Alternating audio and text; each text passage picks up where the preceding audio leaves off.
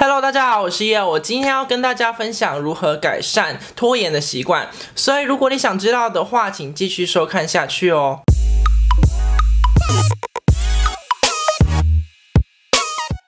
我们每个人都一样，我们脑中都有一个声音，就是一直在告诉我们偷懒啊，或是给我们一堆借口来拖延时间。我也一样，每个礼拜我拍两次影片，有时候三次。然后你知道吗？每次在拍影片之前，我。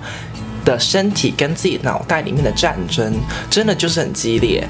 我会给自己很多借口，我觉得我是制造借口的天王。在拍影片之前，我几乎的借口都是这样：我很累啊，我今天不舒服啊，可以明天再拍好了。诶，我今天头发好丑哦，然后呃，我长痘痘啊，然后今天天气不好，灯光不好之类的问题。那我们在面对这些借口的时候，有一个选择，就是要不要去听从这些借口。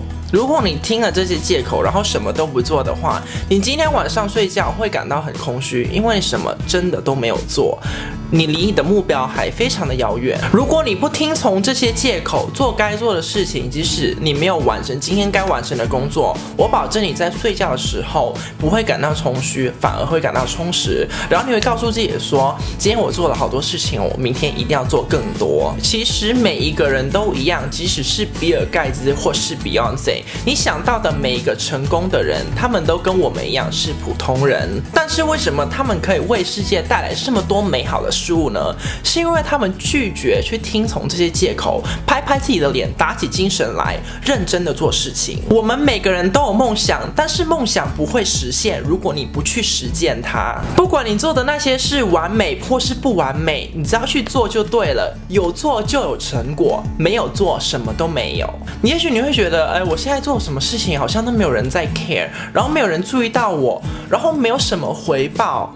你知道吗？其实每个成功的人都不一样，他们都要经过这一段没有回报、没有人注意到他的这一段时间。所以，如果你能撑过这一段时间的话，我相信你可以看到七彩的光芒。不管你的梦想是什么，你该做的事情是什么，如果你现在突然发现，哎。我还有一些东西还没有去做，哎，请你关掉这个影片去做该做的事情。相信我在今天晚上睡觉之前，你会感到非常的满足。但是不要忘记订阅这个频道，我每礼拜一跟五都会有新的影片。如果你觉得这个影片对你有帮助的话，记得在下面留给我一个赞。然后我们在下一次见啦，拜。